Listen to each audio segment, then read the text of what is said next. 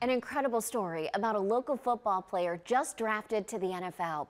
His dad runs an elite boxing gym, actually dreamed of his son becoming a boxer.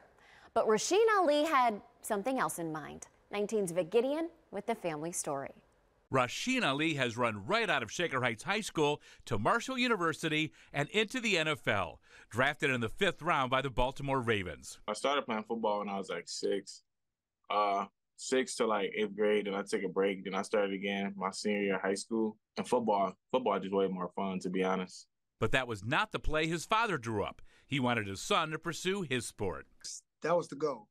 Yeah, for him to be the boxer. Yeah, because I boxed, but you know, once your career is over, you you try to duplicate it, but ten times.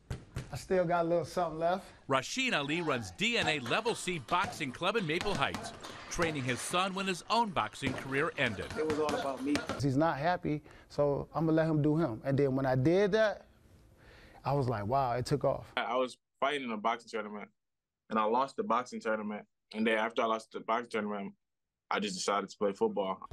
When Rasheen went from hitting the bag to hitting the holes, the NFL dream became a reality. That's when my phone was ringing. I picked it up, and it was like Harbaugh.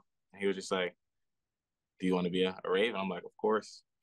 And uh, and then shit like the Baltimore Ravens, and then you know we all jumped up. Ah, let's go, let's go, let's go. But when Rasheen is carrying the ball, he's carrying his father's message. You know, hard work pays off. Hey, I got to do what I got to do. And the running back took off. I was like, wow. Vic Gideon, 19 News.